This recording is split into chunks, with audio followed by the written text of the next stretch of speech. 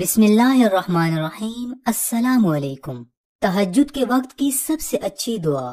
یہ دعا تہجد کے وقت پڑھیں، یہ اللہ کو راضی کرنے کی دعا ہے۔ دعا اس طرح ہے، لا الہ الا اللہ وحدہ لا شریک لہ لہ الملک ولہ الحمد۔ وهو على كل شيء قدير. لا حول ولا قوة إلا بالله.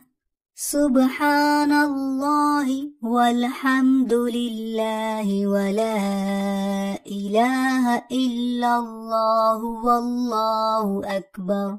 اللهم صل على محمد وعلى آل محمد۔